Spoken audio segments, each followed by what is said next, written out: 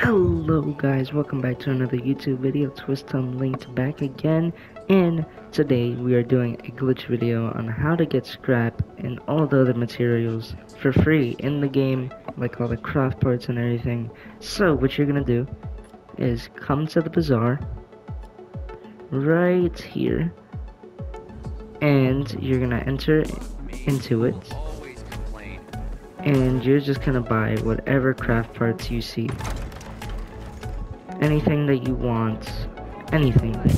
So if you just want uh, just let's say scrap you just get as much scrap as you want.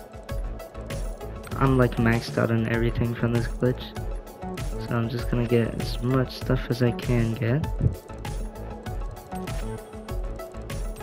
And boom we got all that stuff here. I'll go back into it. We have five stuff remaining so that's gonna be there. Now we're gonna run out the same door we came in. And it's gonna show us Trinity pop up you'll see in the bottom right corner as soon as I exit out here. Trinity. So now you go back in and you're gonna go to the same guy you went to. And you can buy scrap again buy whatever you want. Right here. Look, he has everything again, so I can buy right now. As you can see, ooh, more feathers, more blades, not feathers. Uh, yeah. Now we're on four stuff, okay.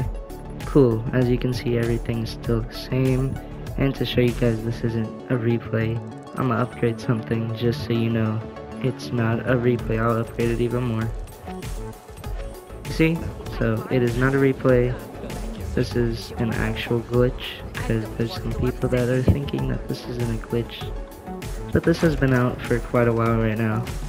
And I'll go to it again and there's not going to be any cuts right here. So Trinity, boom, go back in. Uh, right here same guy. And as you can see, this is not a replay. and now everything is still there. Buy it all again. And you can see my C4 is still here. Hope you guys enjoyed this glitch video.